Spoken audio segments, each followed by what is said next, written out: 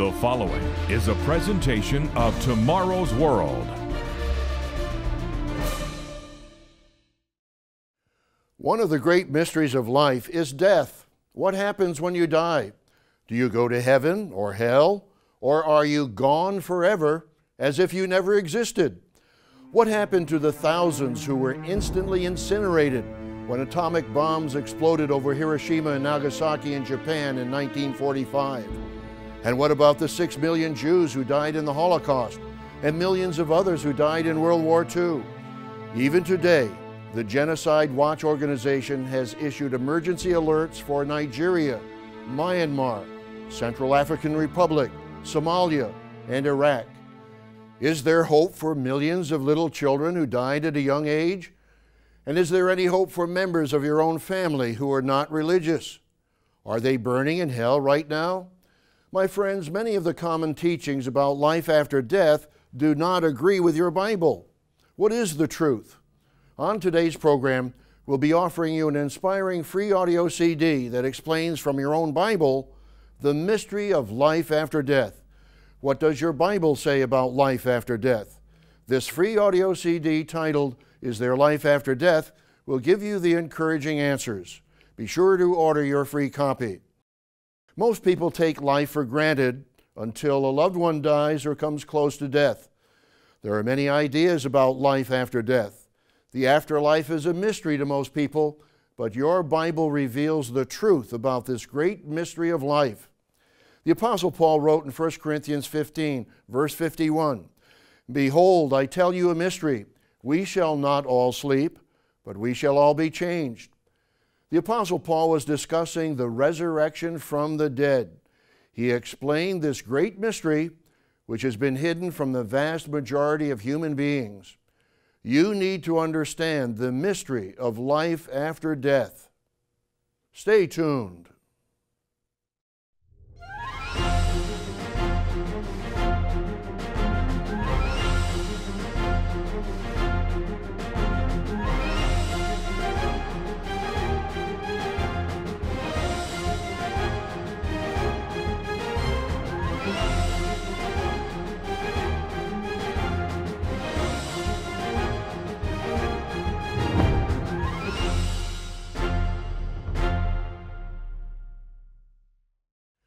Warm greetings to all our friends around the world. One of life's greatest mysteries is the question what happens when we die? Is there life after death? Or will the good people go to heaven and the bad people to a burning hell? We mourn over the death of a loved one due to accident, disease, or violence. We read about a promising young high school student or university student killed in an auto accident caused by a drunk driver. Even a young child has been killed in his own home by a random drive by shooting. Thousands of young men and women have lost their lives in military service, many before age 30, and some even before age 20. We mourn over their graves and wonder about their future. Why have so many had to die at such a young age? Is there any hope for the billions who never converted to any form of Christianity? How do you explain the mystery of life and death? On today's program, we'll answer these questions, and we'll be offering you a free audio compact disc titled, Is There Life After Death? This audio CD contains three Tomorrow's World programs. This CD will give you and your family encouragement and hope from the Scriptures. Be sure to write down the address and phone number to order your free copy. You can also order this free CD on our website at tomorrowsworld.org. Many scientists, atheists, and agnostics believe that life ends at death. On the other hand, many religious people believe that when the body dies, the soul goes straight to heaven or to hell. Some expect to wait in purgatory. Still others look to the resurrection as their only hope. Think of all the billions of people who have ever lived. Was there a purpose for them? Will they have a future hope? We mourn and grieve for our deceased family and loved ones. My friends, there is hope for those who are now in the grave. But where can we go for the answers? Your Bible gives us the truth. We encourage you to read from your own Bible. Don't take for granted what we or any ministers tell you. Be sure to mark down these references and read them for yourself. Your Bible explains the mystery about death, the resurrection, and the afterlife. The Apostle Paul wrote of a mystery concerning life after death. If you have your Bible, turn to 1 Corinthians, the 15th chapter. This is called the resurrection chapter. The Apostle Paul describes death as a sleep. Jesus himself referred to death as sleep, as we'll see later. Here, Paul is describing the resurrection that will take place at the second coming of the Messiah, Jesus Christ. Let's read that in 1 Corinthians 15, verse 51. Behold, I tell you a mystery. We shall not all sleep, but we shall all be changed in a moment, in the twinkling of an eye, at the last trumpet. For the trumpet will sound, and the dead will be raised incorruptible, and we shall be changed. The Apostle Paul explained that the resurrection of faithful Christians will take place when? At the last trumpet. Regular viewers of Tomorrow's World understand that the last trumpet refers to the seventh trumpet of Revelation 11, verse 15. Six of the seven trumpet events are described in Revelation chapters 8 and 9. I encourage you to read about these dramatic events that constitute the one year day of the Lord leading up to Christ's return to this earth. The good news is announced in Revelation 11 and verse 15. Then the seventh angel sounded, and there were loud voices in heaven saying, The kingdoms of this world have become the kingdoms of our Lord and of his Christ, and he shall reign forever and ever. All faithful Christians pray daily, as Jesus instructed us in the model prayer, Your kingdom come. That's in Matthew 6, verse 10. We look forward to that time when Christ will return to this earth as King of Kings and Lord of Lords. The Prince of Peace, as he's called in Isaiah 9, verse 6, will teach all nations the way of life and peace among all peoples. The resurrection from the dead for faithful Christians takes place at the last trumpet. But what happens to those who never converted to Christianity? My friends, your Bible reveals that there is a future hope and resurrection for all those who never had a genuine opportunity to be converted. The Bible describes three general resurrections. You need to study this for yourself. To help you in your study, I like to offer you this inspiring free audio CD titled, Is There Life After Death? This free audio compact disc contains three Tomorrow's World programs Is There Life After Death? The Three Resurrections, and Are They All Lost Forever? There's so many misconceptions about heaven, hell, and the resurrection. You need to study what the Bible plainly teaches. Are billions of people who have never heard the name of our Savior lost forever? This free audio CD will give you the answer. You need this vital information. Just pick up the telephone right now and request your free audio CD, Is There Life After Death? Just ask for the audio CD on life after death. You can also order this free audio CD on our website at tomorrowsworld.org, or you can write to us at one of our regional addresses. For today's free informative offer, send your request to Tomorrow's World, P.O. Box 3800, Charlotte, North Carolina 28227. Or call this toll free number 1 800 493 5437. That number again is 1 800 493 5437.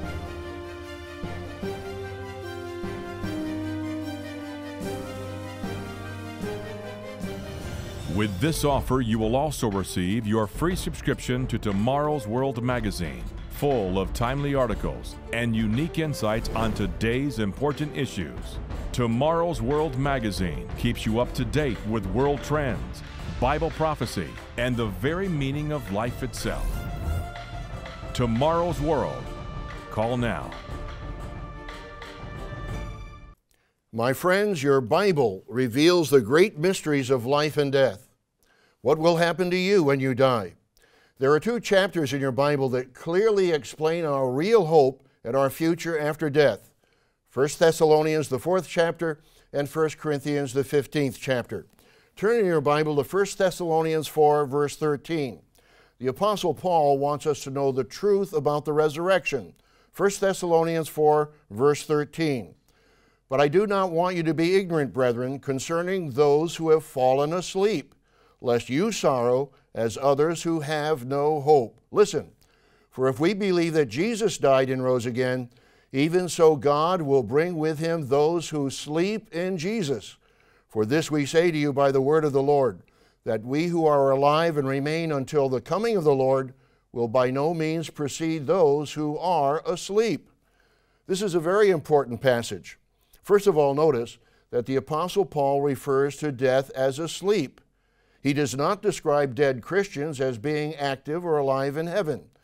They are asleep or dead until the coming of Christ, his second coming. Now let's read verse 16. For the Lord himself will descend from heaven with a shout, with the voice of an archangel, and with the trumpet of God, and the dead in Christ will rise first.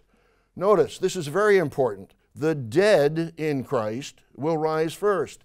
Please understand, the dead in Christ are not alive in heaven. They are dead in the grave, waiting the first resurrection. They are at peace, feeling no pain or consciousness.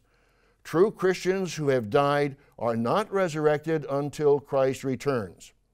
But what happens to those faithful Christians who are alive at the second coming? Continue reading in 1 Thessalonians 4, verse 17. Then we who are alive and remain shall be caught up together with them in the clouds to meet the Lord in the air, and thus we shall always be with the Lord. Therefore, comfort one another with these words. Those of us who are alive when Christ returns, as it tells us in 1 Thessalonians 4:17, will join those who have been dead all these centuries and millennia now resurrected to receive the promised gift of eternal life. That is what all genuine Christians look forward to. Your Bible reveals that the resurrection is the hope of the Christian. The Apostle Peter emphasized that hope in 1 Peter 1, verse 3. Blessed be the God and Father of our Lord Jesus Christ, who according to his abundant mercy has begotten us again to a living hope through the resurrection of Jesus Christ from the dead at one time, the Apostle Paul was being judged and examined by the Jerusalem Sanhedrin. Paul made the resurrection the major issue. He spoke to the assembly of both Pharisees and Sadducees. You can read about this confrontation in Acts, the 23rd chapter, Acts 23 and verse 6. But when Paul perceived that one part were Sadducees and the other Pharisees, he cried out in the council, Men and brethren, I am a Pharisee, the son of a Pharisee. Concerning the hope and resurrection of the dead, I am being judged. Was Paul saying that he would go to heaven when he died? Absolutely not. Paul was looking forward to the resurrection from the dead at the return of Christ. Read it in your own Bible. In the book of Philippians, the Apostle Paul spoke of his faith in Christ and his future goal of the resurrection. Philippians 3 and verse 10 that I may know him and the power of his resurrection and the fellowship of his sufferings, being conformed to his death, if by any means I may attain to the resurrection from the dead. My friends, the Bible teaches that when one dies, he or she remains dead until the resurrection. The Apostle Paul refers to deceased Christians as those who sleep in Jesus. Sleep is used here as a metaphor for death. Jesus himself spoke of death as sleep. My friends, have you really studied your Bible and focused on the resurrection? If you're a professing Christian, you may have just casually assumed that when someone dies, he or she goes to heaven or hell. You may not have even studied or read in your Bible about the resurrection. What did the Messiah, your Savior, Jesus Christ Himself, emphasize? We'll answer that question in the next part of our program. But first, I'd like to offer you this inspiring audio CD titled, Is There Life After Death? This free audio compact disc contains three Tomorrow's World programs Is There Life After Death? The Three Resurrections, and Are They All Lost Forever? Be sure to request your free copy. Today's offer is yours absolutely free. No cost, no obligation. Visit us online at tomorrowsworld.org. Find us on Facebook, watch us on YouTube, and follow us on Twitter. Many professing Christians assume that when a person dies, he or she goes immediately to heaven, hell, or purgatory. Is that what Jesus himself taught? Remember the miraculous revival of Jesus' friend Lazarus? When Lazarus died, did he go to heaven? Lazarus had been in the tomb four days, and Jesus brought him back to life. Jesus resurrected Lazarus from the dead to live out his natural physical life. As Jesus proclaimed in John 11, verse 25, I am the resurrection and the life. He who believes in me, though he may die, he shall live. And whoever lives and believes in me shall never die. Lazarus was dead. Did Lazarus go to the glories of heaven and then was he forced to come back in a physical body when Jesus resurrected him? Of course not. Lazarus did not go to heaven or to a burning hellfire when he died. Lazarus simply died and had no consciousness. Jesus said, Lazarus sleeps, Lazarus is dead. Read that in verse 11 and verse 14. Jesus resurrected Lazarus from the dead to live out his natural physical life. Lazarus had been in the tomb four days, and Jesus brought him back to life, physical life. But the resurrection of deceased Christians is to eternal, immortal life. And that takes place at the return of Christ, as we saw in 1 Thessalonians 4, verse 16. And the dead in Christ will rise first. The resurrection is the hope of a Christian. If one already went to heaven at death, there would be no need for a resurrection. One is not born with immortality or eternal life. Believe it or not, the Bible teaches that a soul can die. The soul is not immortal. Let's briefly review that. That will be shocking to many. Turn in your Bible to Ezekiel 18 and verse 4. Ezekiel 18, verse 4. The soul who sins shall die. The Hebrew word for soul is nephesh, which means physical or natural life. Souls can die. No human has an immortal soul. In 1 Corinthians 15, verse 53, we learn that at the resurrection, this mortal must put on immortality. My friends, you and I are mortal, but faithful Christians will receive the gift of immortality. When? At the resurrection. This is the first general resurrection explained in 1 Corinthians 15 and 1 Thessalonians 4. The resurrection to immortality. We've seen from the Bible the inspiring hope of a faithful Christian. That hope is the first resurrection. Now, if there is a first resurrection, there must be a second resurrection.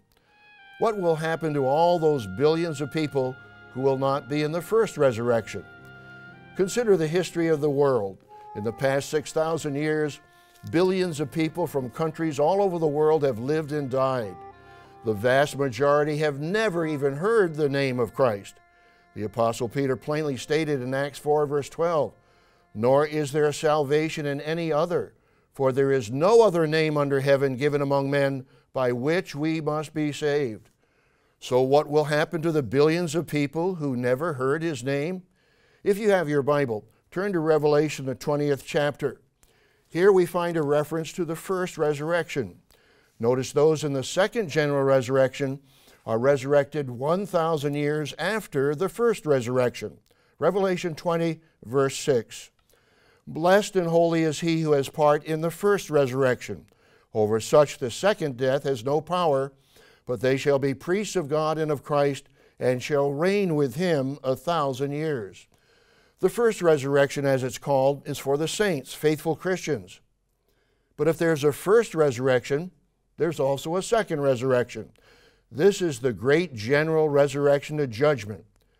But notice what it tells us in Revelation 20, verse 5. But the rest of the dead did not live again until the thousand years were finished. Jesus spoke about this resurrection in John, the fifth chapter, John 5, verse 28. Jesus said, Do not marvel at this for the hour is coming in which all who are in the graves will hear his voice and come forth.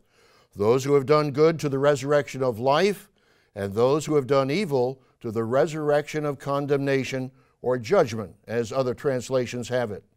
That is when billions of so called unsaved people will face judgment, as it states in Hebrews 9, verse 27. It is appointed for men to die once but after this, the judgment. But what kind of a judgment will it be? We'll answer that question in the conclusion of our program. But first, I'd like to offer you this inspiring audio CD titled, Is There Life After Death? This free audio compact disc contains three Tomorrow's World programs Is There Life After Death? The Three Resurrections, and Are They All Lost Forever? You need to know the answers to these questions. My friends, we all have lost loved ones and we mourn. Thank God that the truth of the Bible gives us comfort. As the apostle Paul said in 1 Thessalonians 4:18, therefore comfort one another with these words. My friends, you need to study what the Bible plainly teaches. Are billions who never heard the name of our Savior lost forever? Is God that unfair? This free audio CD will give you the answer. So pick up the telephone right now and request your free audio CD titled, Is There Life After Death? This audio CD will give you the biblical references and you'll be able to study on your own time and at your own convenience. Just pick up the telephone right now and request your free copy, Is There Life After Death? Just ask for the audio CD on Life After Death. You can also order this free CD on our website at tomorrowsworld.org or you can write to us at one of our regional addresses. You can also find us on Facebook or follow us on Twitter at Tomorrow's World. For today's free informative offer, send your request to Tomorrow's World, P.O. Box 3800, Charlotte, North Carolina 28227. Or call this toll free number 1 800 493 5437. That number again is 1 800 493 5437.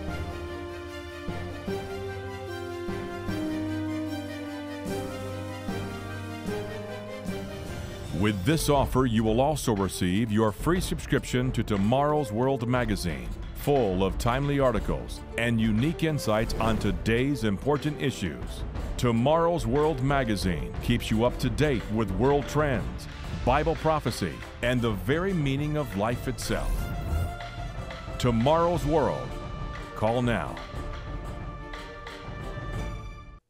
Is there any hope for the billions of people who never converted to Christianity? Yes, there is hope in the second general resurrection called the White Throne Judgment. Read that in your own Bible. Revelation, the 20th chapter. Revelation 20, verse 11. Then I saw a great white throne and him who sat on it, from whose face the earth and heaven fled away, and there was found no place for them. And I saw the dead, small and great, standing before God. This is the second general resurrection. And books were opened, and another book was opened, which is the book of life. And the dead were judged according to their works by the things which were written in the books. The Greek word for books is biblia. The good news is that the books or the Bible are open to the understanding of the masses of people for the first time. Remember the valley of dry bones described by the prophet Ezekiel? The resurrection described in the 37th chapter of Ezekiel describes what takes place at the second resurrection. Billions of people will be resurrected to physical life in the white throne judgment. The book of life is finally open to all of them. This will be their first opportunity to really learn the truth. This is not a second chance, as some would like to call it. All people will be held accountable for their actions and thoughts, but this will be the first time for many to see their sins, to repent of their sins, and to accept Jesus Christ as their Savior. Others in the resurrection will include those who were victims of accidents, oppression, and genocide. They will be healed and given a chance for a peaceful and prosperous life and a genuine opportunity for eternal life in glory. My friends, it's God's purpose to give everyone who has ever lived a genuine, fair opportunity to be a part of His divine family for all eternity. He's made that purpose plain in 2 Peter, the third chapter. The Lord is not slack concerning his promise, as some count slackness, but is long suffering toward us, not willing that any should perish, but that all should come to repentance. My friends, let's understand there are three general resurrections. These are explained in the free audio CD we're offering today Is There Life After Death? The first general resurrection from the dead is to immortal life. The second general resurrection from the dead is to physical life. This second resurrection is a resurrection to judgment.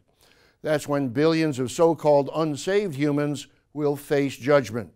As it states in Hebrews 9, verse 27, it is appointed for men to die once, but after this, the judgment.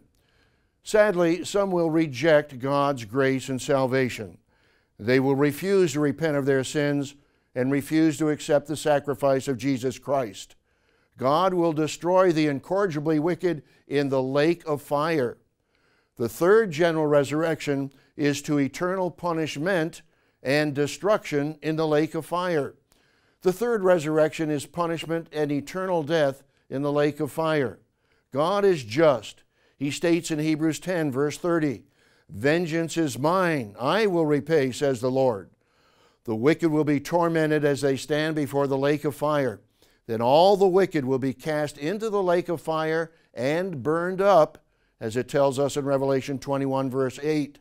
They will live no longer. This is the second death from which there is no resurrection.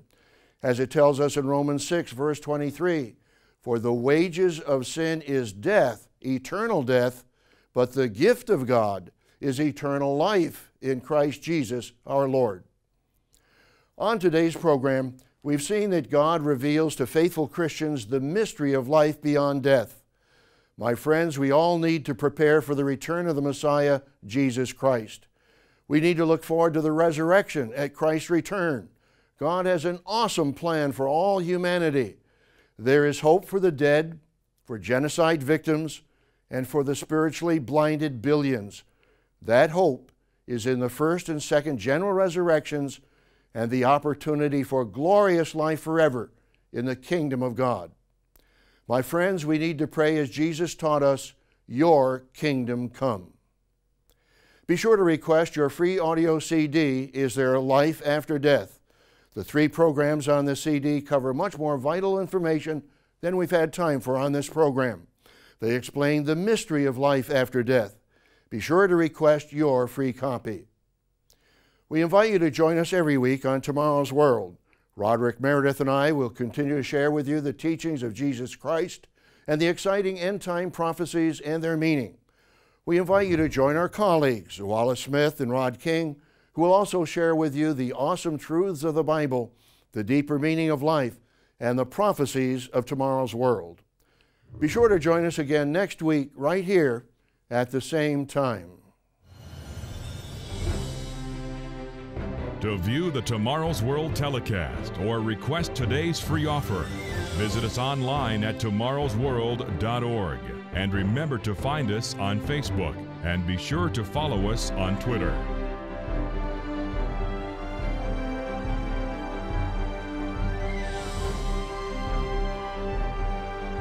The preceding program is produced by the Living Church of God.